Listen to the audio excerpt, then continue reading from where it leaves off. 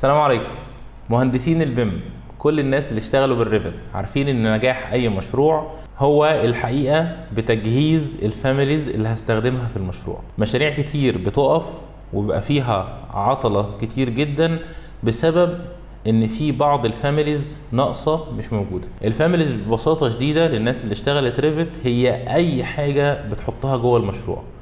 ال view ال level الباب الشباك الحيطة ال mechanical equipment ال lighting fixture أي حاجة موجودة جوه مشروع ال Revit في حقيقة الأمر هي عبارة عن family قبل ما بنبدأ المشروع المطلوب مننا إن إحنا نعمل تجهيز بليسته بال equipment أو ال items اللي هستخدمها في المشروع ويا إما نعمل عليها search على الإنترنت أو موقع الشركات المصنعة أو إن إحنا نراسل الموردين.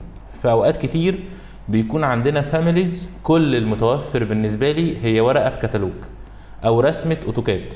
ما عنديش item 3D ولما راسل المورد بتاعه يقول لي ما عنديش Revit family وأنا مطلوب مني إن أنا أشتغل المشروع بال Revit الحل إيه؟ الحل إن إحنا نعمل create لل family from scratch نبدأ من الصفر.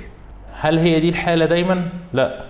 في بعض الأحيان بيكون عندي بالفعل ال families لكن أجي أستخدمها في المشروع يحصل errors تدي أخطاء أجي أوصل pipe أو duct مش عايزه تتوصل الحل إن إحنا نعالج ال error ده. يبقى يا إما ما عنديش ال family ومحتاج أبنيها يا إما عندي family ومحتاج أعدل ال errors اللي فيها. لو عرفنا إزاي نبني ال family هنعرف نعدل فيها. اللي هناخده مع بعض في ال course وهنتعلمه إن إحنا إزاي ننشئ family سواء كنت مهندس معماري ميكانيكا مدني كهرباء أي حد شغال بال Revit هو محتاج ال course دوت. أي حد هيبدأ في ال course معانا لازم يكون الأول بيعرف يشتغل Revit كويس. لازم تكون انهيت course ال Revit من بيت المهندسين. بعد كده تقدر تلتحق معانا في course ال Revit families ال course هياخدك من مرحلة ال beginner أو البداية خالص لحد الاحتراف إن شاء الله.